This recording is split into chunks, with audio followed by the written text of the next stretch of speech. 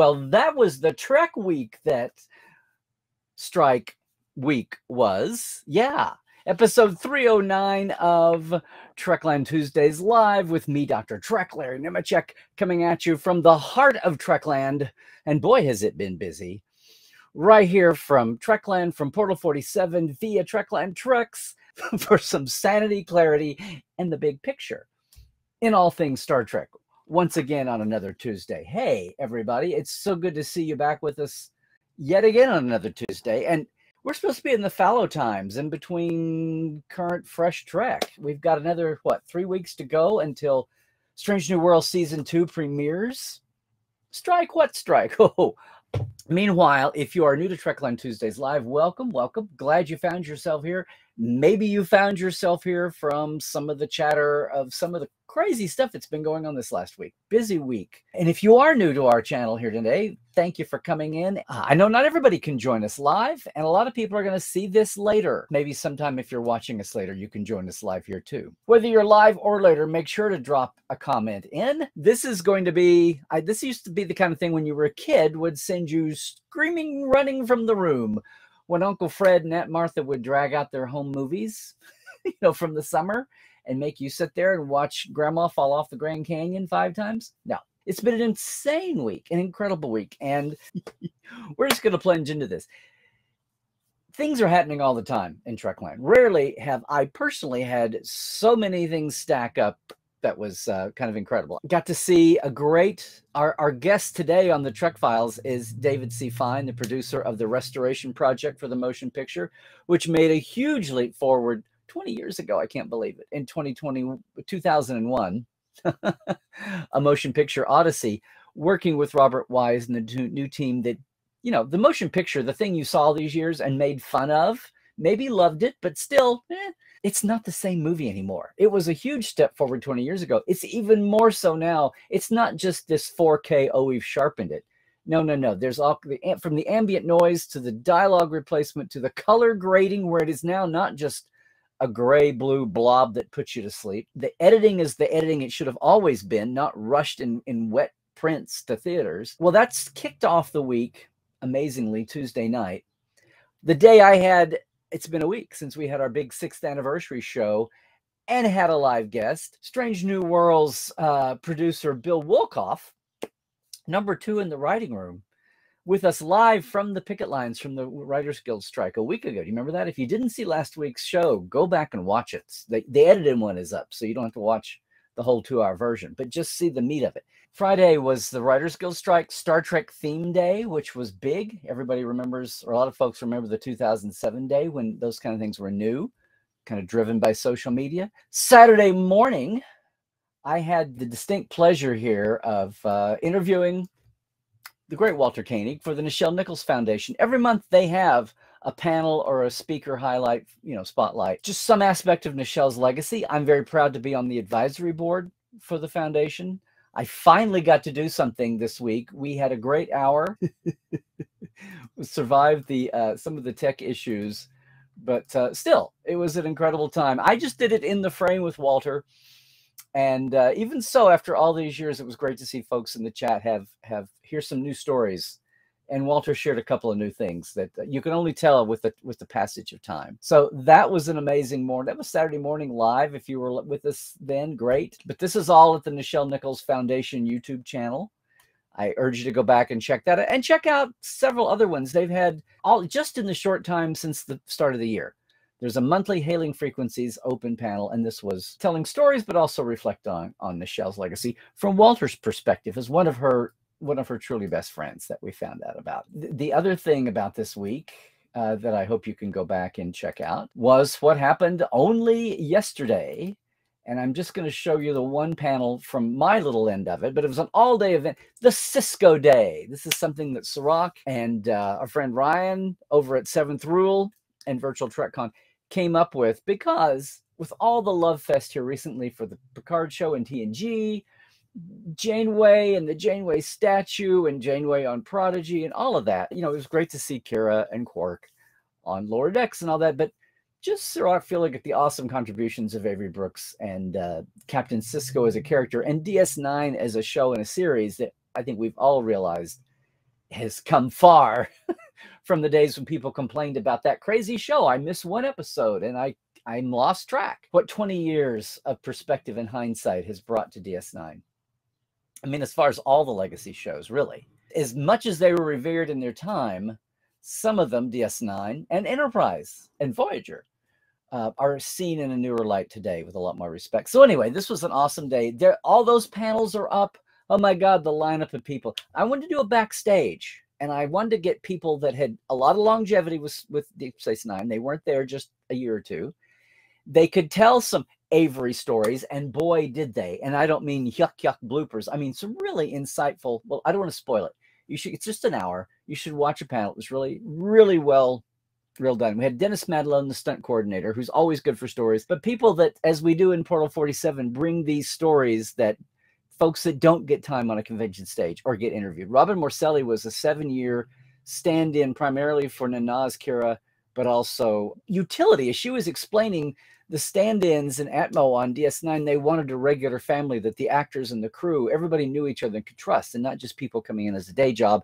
And they had work they did even when they weren't standing in or being an extra or even a, an alien head extra. And that's fascinating. And then lou race who was assistant director for the last three seasons of ds9 the first assistant director is alternate because it's a demanding exhausting job and you have to prep a show and then run it on stage.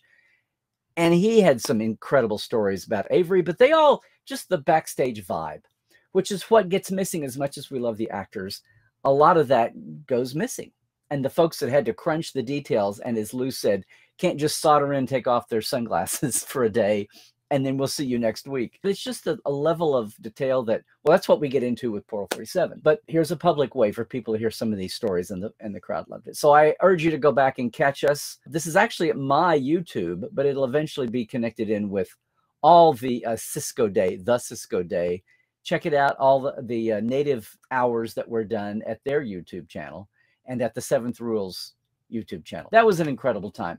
That's what's going on. And then even not to have been there, but this last week, some of the cons that are happening. So I am so thrilled that Long Island Trek Con went off so well. No, it's not San Diego Comic Con, and no, it's not Vegas, but they had a great turnout. Many behind the scenes folks, yes, but it's you know, a fan group behind it. And as long as there's enough business savvy in the group to make sure it's fun and games, but also survives to entertain and convene another day, another year. So hoping that all went well. But all the raves, a lot of the folks I know we are seeing, they're sending back pictures and posting. It looks like it was great. And it's so great for the East Coast fans here in the States to have something a little bit closer than LA and Vegas, yeah. And something that's Trek focused too, alongside. Trek Vegas. That was awesome. I thought today, well, I am just so proud of this. This took off. This is a very serious, it's another day of picketing, but to perk up the spirits of the picketers and to get, yes, get the broad audience attention out there across the country, around the world, they have theme days. And this is something that started in the 2007 strike. There were only three or four of them. The Star Trek one got a lot of attention. I didn't think anything could top that. This was three, four times just bigger on the numbers, the intensity. There's a lot more Star Treks out there. I shot little video bits and wandered and did stills. I was a one man band this time. And yet we pulled this. I say we, I shot it. And then Scott and Kyle edited this. I'm so proud of it. No, we're not going to watch it now. It's 15 minutes. Go to my YouTube, where you are right now, if you're on YouTube. Go and watch this. They blew me away. We kept tweaking it and tweaking it. There are so many names so well and so many names and faces of the new shows. And some of them you don't know them yet because they worked on the last year of Discovery, which you haven't seen yet. Or they came to second season of Strange New Worlds and you haven't seen it yet. There are so many faces old and new. What I wanted to do to, with you today is there's a lot. There's even some stills slipped in at fun places in this video. I'm just so proud of this. Have I said that? This may be the best video in the 15 years since I first started my blog page, Trekland. What I wanted to share, share with you today actually was some of the, most of these are, some, a couple are, but I just wanted to do the photo album. No, I promise it's not our slideshow from the Grand Canyon trip. This is uh, walking up first thing. ABC News 7 here, local LA station, was there. There's Terry himself. This is how Terry lives. This is why Terry is so social. he was talking and texting, tweeting, whatever. you're never going to see anything about major announcements for new new shows until the strike is over and you're watching it so there we have we, we have a standard selfie i wish i had selfies from back in the day when he was uh, answering the phone and running errands um, but still working on a writing career when he was Brannon braga's executive assistant on uh, well on the last of voyager and enterprise got aaron waltke from uh, prodigy with his everybody you saw so many of these signs with his uh, he was a union man quote from o'brien from Bar Association. This is a quickie little little bit that I have on my um, Instagram, and we swing over to well, the guy that wrote it, Robert Hewitt Wolfe from DS9. And this is the vibe of the day. All these generations of Trek writers, and there were other writers who were just picketing because it was their day to picket at Paramount. But the big bulk of close to 200 people, maybe more, were Trek writers. And then, yeah, a little sparkle from the actors that turned up and a few crew. I'll show you but this was a fun moment. I mean, this is exactly it. It was you keep making the point that this is serious business and serious work and that nobody enjoys this strike and it's affecting all kinds of people and not just actors and directors i mean the the secretarial the the assistants and the office staffs of shows that aren't filming right now is uh, a big part of it but these kind of moments and here again here's jennifer muro who i know from twitter because her year of prodigy is done and you haven't seen her name on anything yet. And yeah, great sign there. But it was a pleasure to see, and you know, some of these folks in real time. That's what's so insane about the streaming world now. They write one year, they plan, they R and D prep a season, and then write it, and then there's almost no overlap with writing and shooting. And then they're not. Most of the writers are let go as they shoot the end of the season, and then we wait a year for it to air. So this, it's crazy. I, I still miss the old days and some I know that nobody misses a crunching 26 episode season except the fans of hit shows. This was awesome to finally put faces to name. I got to meet Blu del Barrio and they were awesome. Uh, in fact, this was a spontaneous assortment meetup. This was not planned. A ton of the Discovery writers, which was uh, yeah, kind of wild. There were so many of them. I didn't. I had not met three fourths of these people. And of course, some of them were only on the show one year. Discovery, even though it's been canceled, we haven't seen the fifth year yet, and it is still the grand old man for five years. I'm just going to help you out here while you've got a chance, because part of this was about, you know, finding. I'm going to go to the big picture here, finding uh, faces for names that I never knew. We haven't really met yet. So we've got Blue here, of course. Uh, this is Selena Cipriazo. Cipriaso. She was a writer's assistant on season three, Disco, and a little bit of four. She left to go right on Clarice and now the cleaning lady.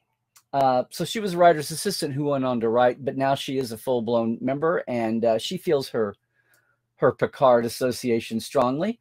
Um, this is Ari Friedman.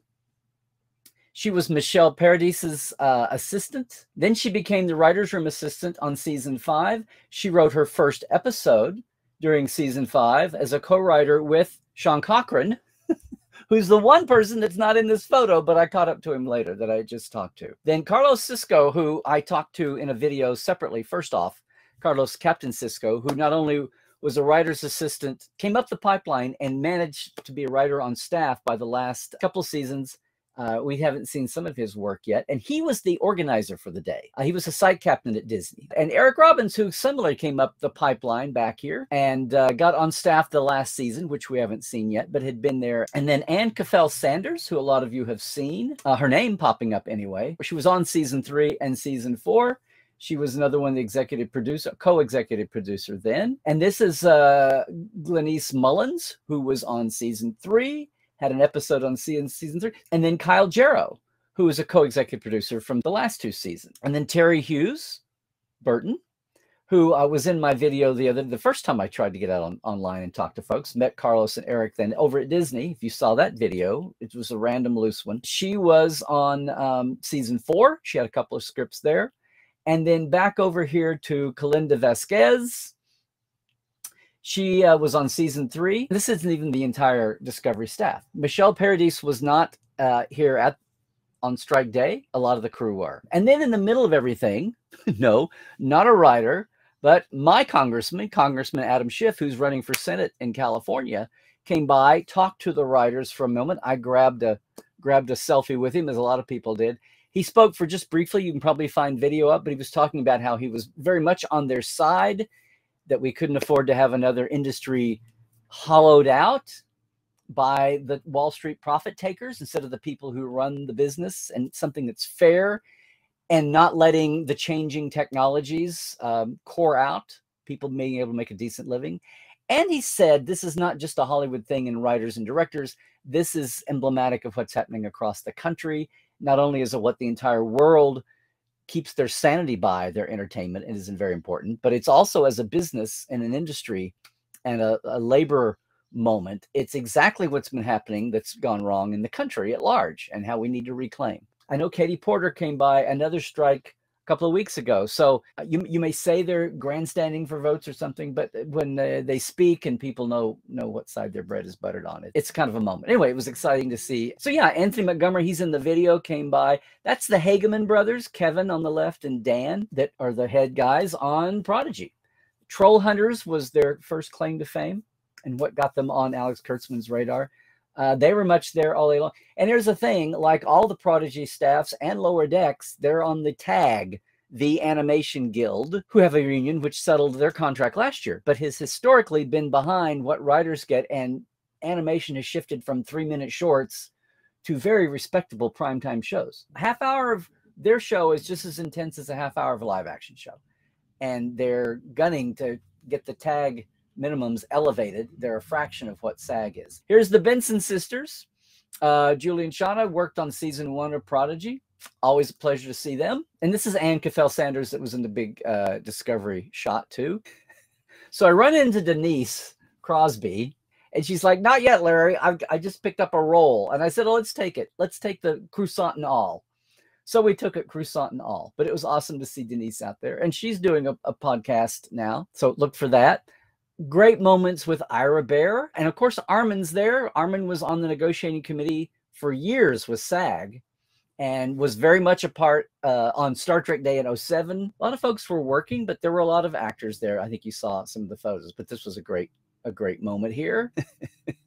and then people kept talking about how the Trek folks that knew their heritage were so thrilled in 2007. We actually had two original series folks with us, David Gerrold and Harlan Ellison walked the line. And, you know, we don't have Harlan, but David Gerrold was there. And people love to say, David's here for the original series and the animated. I know, and the animated, representing the 60s and 70s. And David Sign said, the trouble with tribbles is no residuals.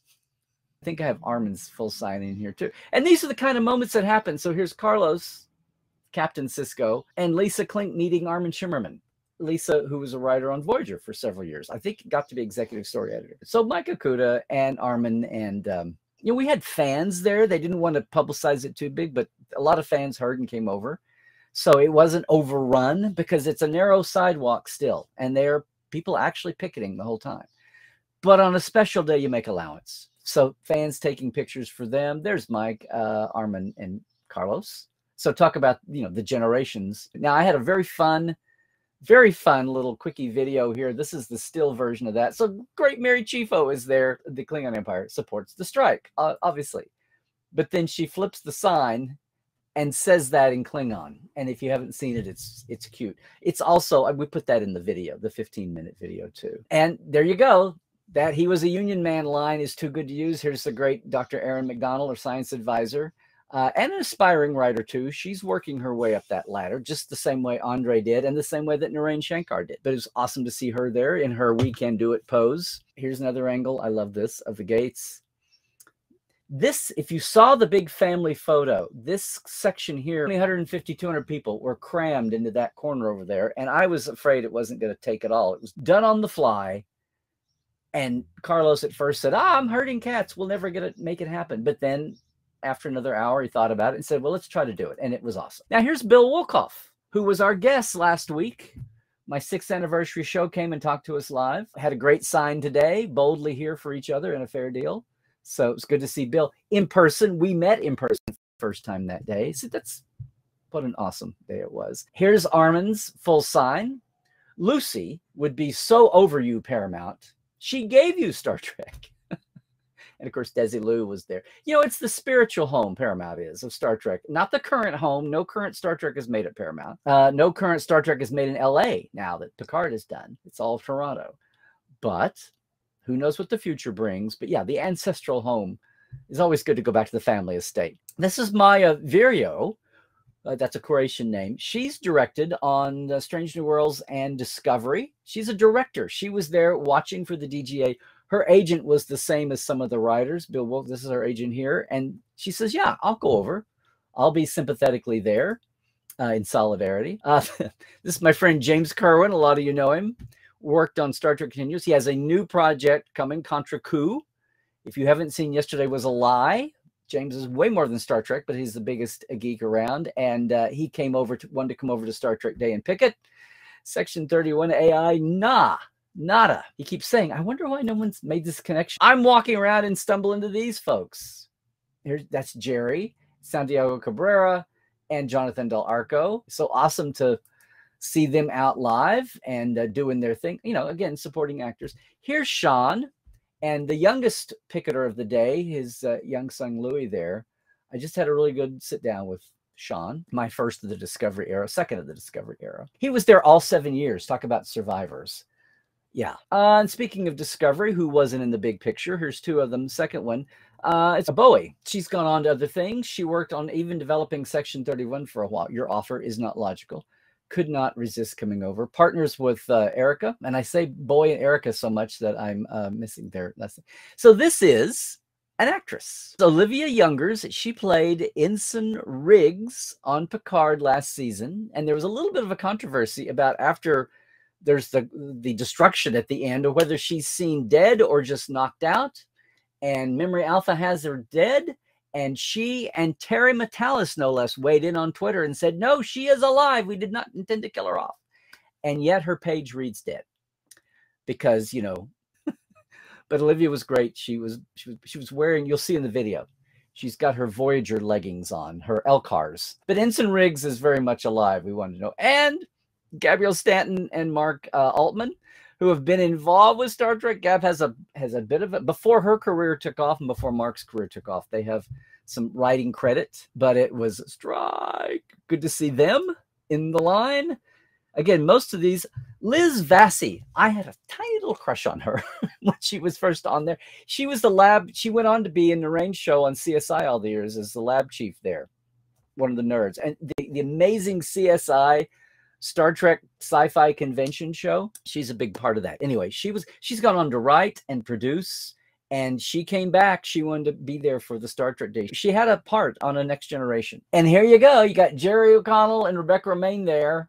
What is he doing? It's not enough to be all over Strange New Worlds and Lower Decks. He's got to go pitch to Dan Hageman here. What is this? No, I'm kidding. This is being held up while they're assembling people to go over just to get into the big family picture. That's a fun close up if you step back to the wider shot, here's uh, Dan, here's Kevin Hageman, here's Aaron Waltke again, here's uh, Jennifer Muro.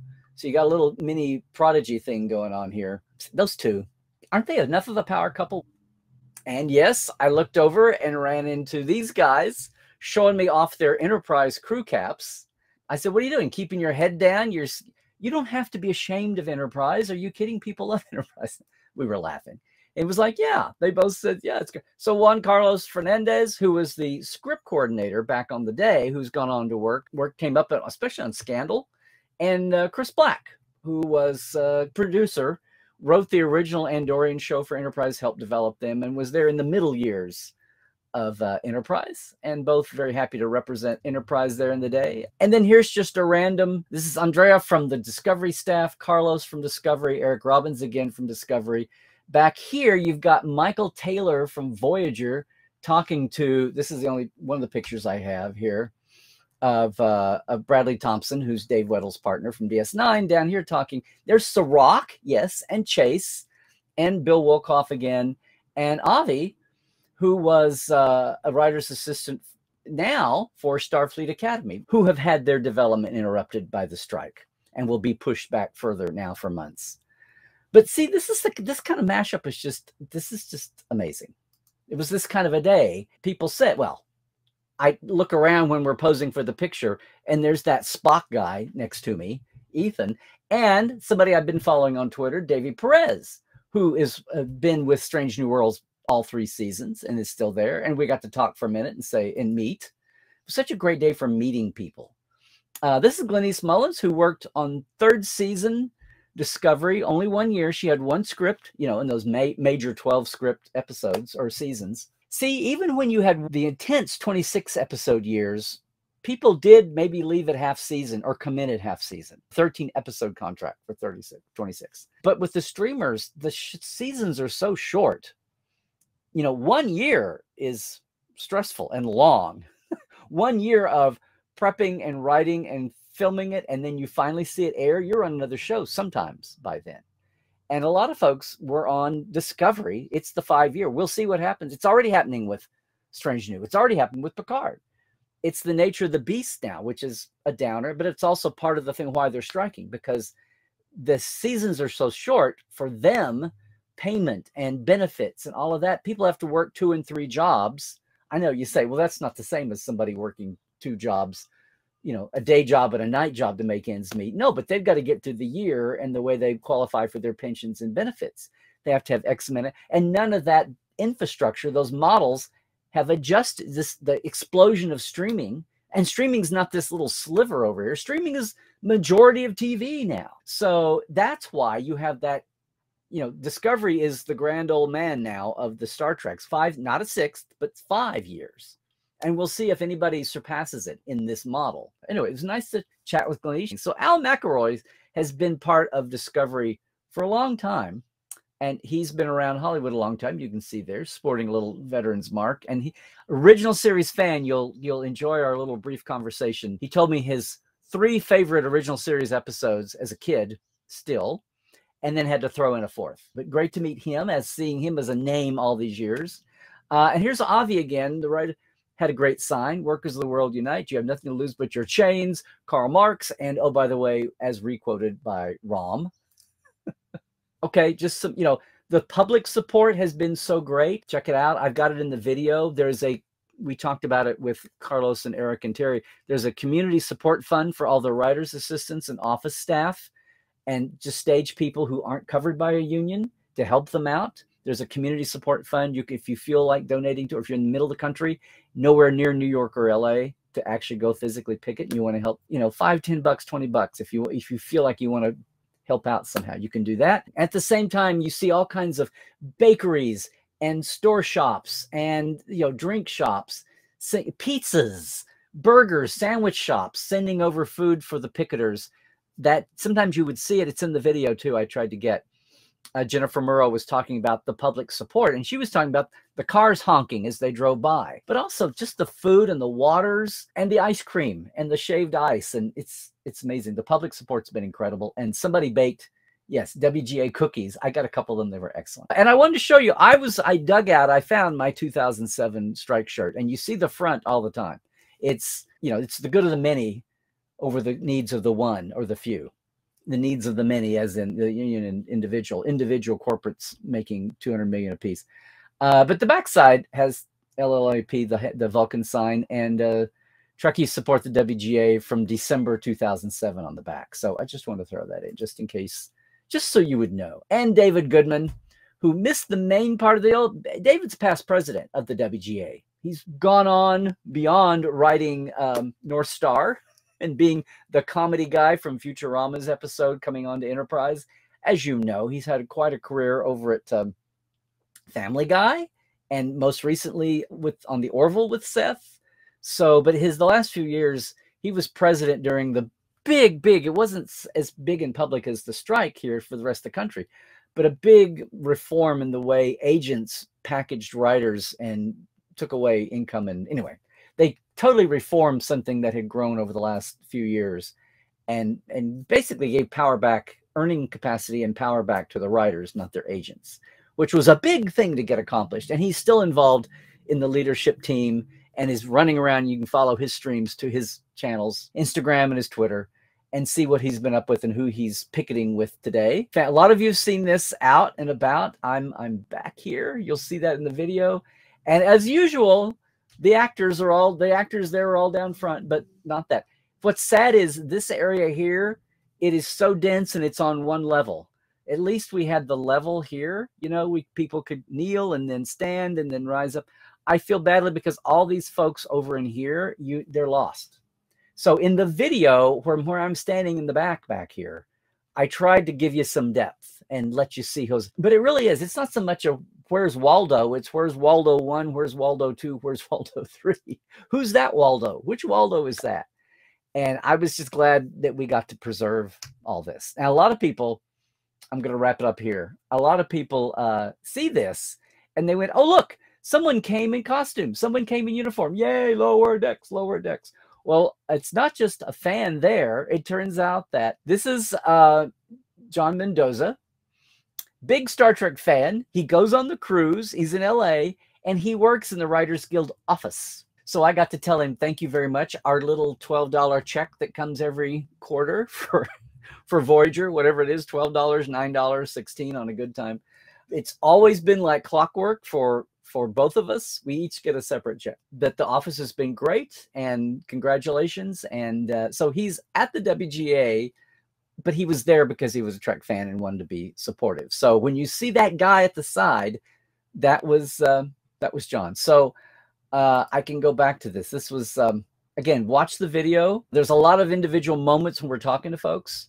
Most everybody at least had a steal here, but a lot of some others weren't, and a lot of folks that I wanted to show you my little slideshow here. Hope I didn't put anybody to sleep. Hope we didn't uh, do a snooze-a-rama there, but uh, just an incredible day and it got tiring after a while especially the people i knew well we all had to say this has just been amazing this been, and a lot of the not so much younger but newer trek folks and the younger ones too everybody has their perspective some of those were you know office assistants that were planning on they have a mentor on the staff and they're wanting to one year do that and then maybe pitch a story and sell a script or, or co-write one and then get on staff later on and you know so many of them were trek fans to begin with and you'll hear that. So it's a dream come true for them to be writing on um, the revival of Trek. And so many of them, on staff or not, they're like Aaron and Robert Wolfe like Carlos was put the thing together. I think he's like a lot of con throwers in the old days. He put the con together just so he could meet all those people.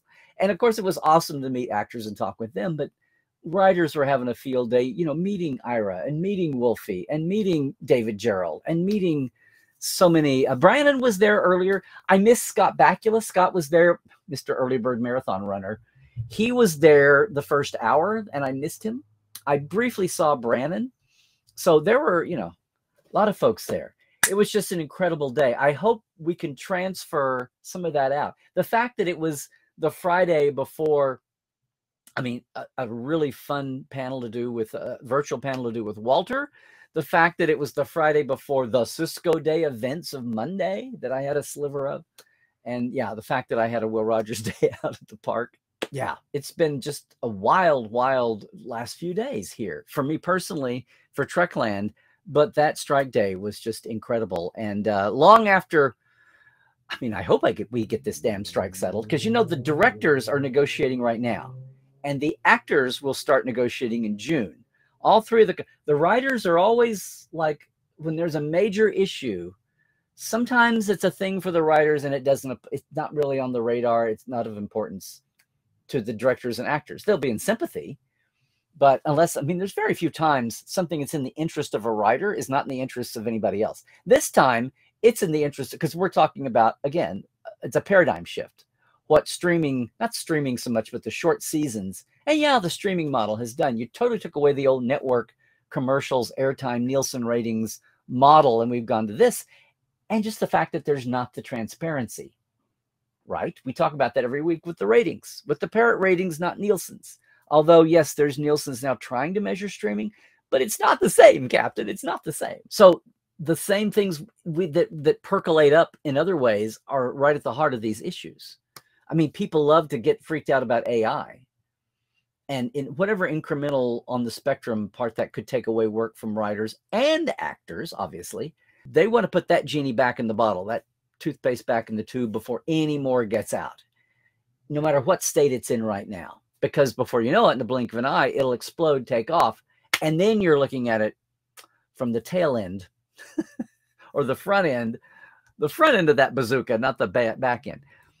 But it's a lot about a lot more than AI, and uh, uh, they've got to basically the system that's existed for 30 years, ever since Lucy and Desi came up with reruns, it's a totally new thing. So this is a paradigm shift that's affecting everybody, directors and actors, and the IATSE crews, even the way they work. And the, the Teamsters are all hugely, Teamsters have been blocking gates. They see two picketers at some town where there are Atlanta or whatever, Seattle, Vancouver. If they see two picketers picketing a studio gate, they will not cross for the most part. And you know, every town is not LA and New York. So that's been a, a huge thing. But that's that's how this is not just your old, we're arguing over numbers kind of a strike. Okay.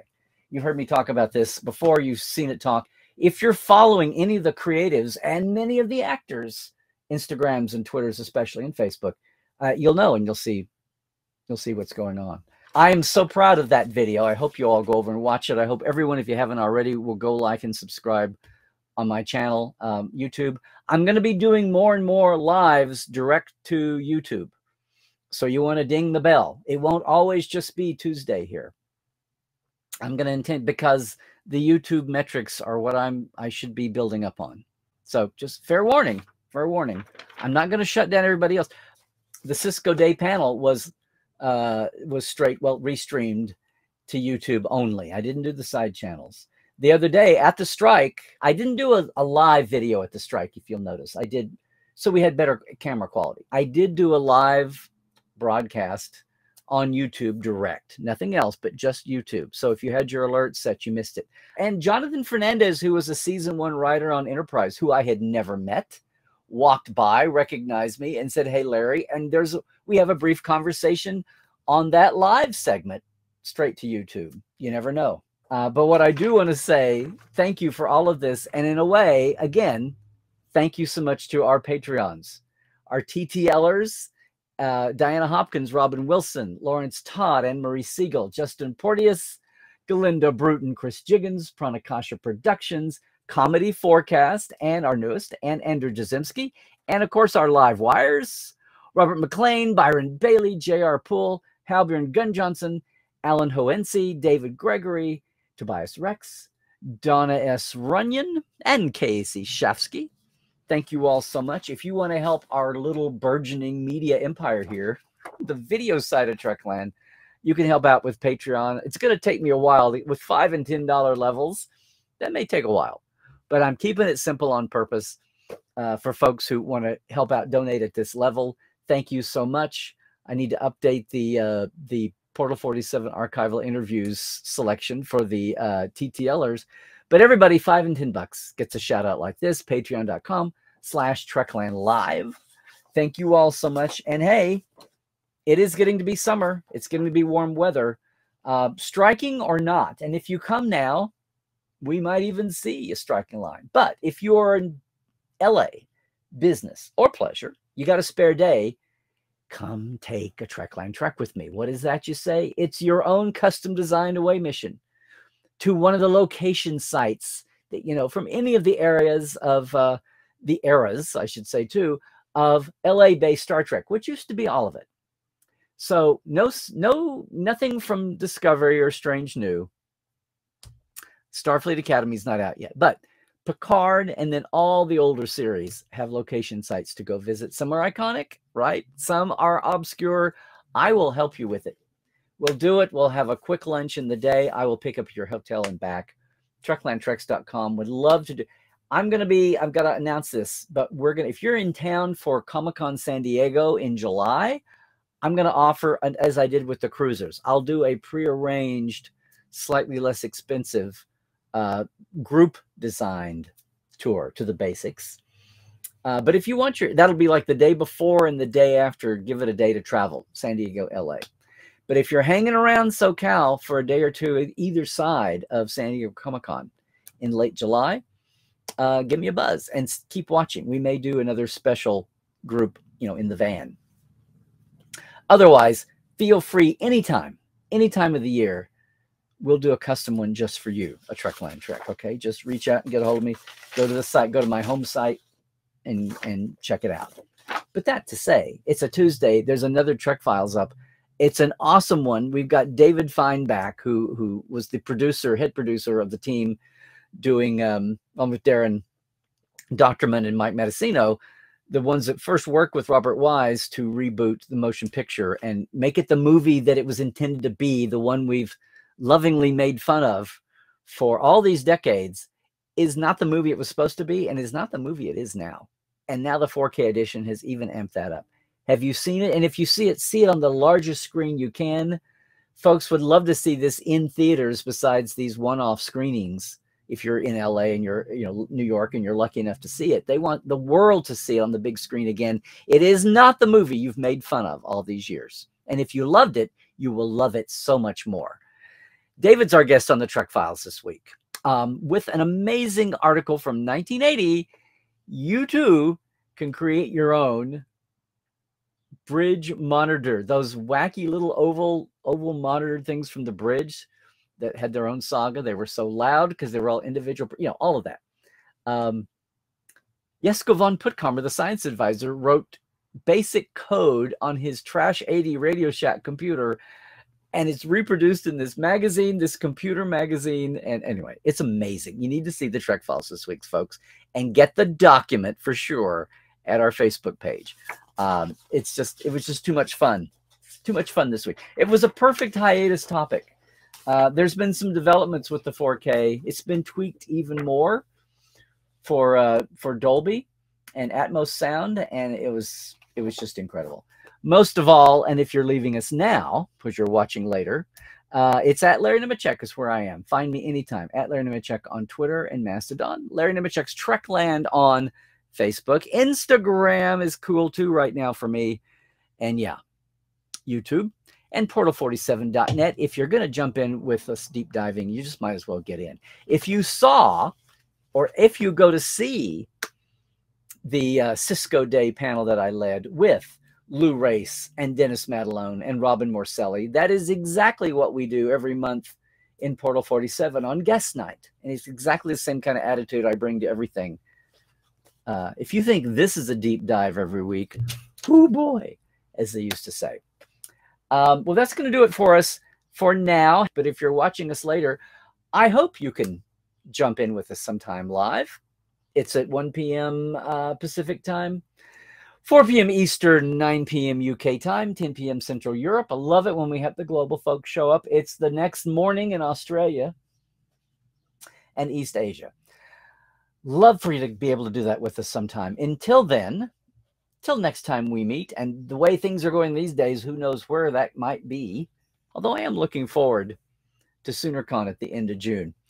Um, yeah, until we meet again next Tuesday or otherwise, or watching all the great assembly of content the whole day of Sisko Day, the Sisko Day, not just my hour. Hey, until then, stay healthy, do all the things stay woke, check your sources, and uh, trek well, everybody.